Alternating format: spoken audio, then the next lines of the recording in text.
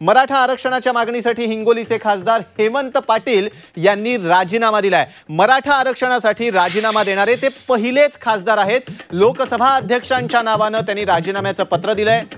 हेमंत पाटील हे हिंगोलीचे शिवसेना शिंदे गटाचे खासदार आहेत. मराठा आरक्षणाच्या आंदोलनाला माझा पाठिंबा असून आरक्षणासाठी मी माझ्या पदाचा राजीनामा देतोय असं त्यांनी आपल्या राजीनामा पत्रात म्हटलेलं आहे.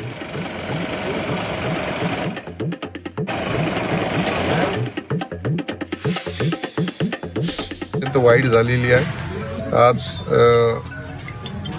अनेक वर्ष गड किल्ल्यांमध्ये राहणारा वाड्यावर राहणारा समाज आज मोलमजुरी करून जगत आहे. शैक्षणिक अवस्था अतिशय वाईट आहे आणि या समाजाला आरक्षण मिळालं पाहिजे ही माझी स्वतःची वैयक्तिक भूमिका ही लोकसभेमध्ये सुद्धा मी मांडलेली आहे आणि निश्चित दिल्लीच्या व्यासपीठावर सुद्धा मी मांडणार आहे. आणि म्हणून आज हा राजीनामा मी लोकसभा अध्यक्षांकडे पाठवत आहे.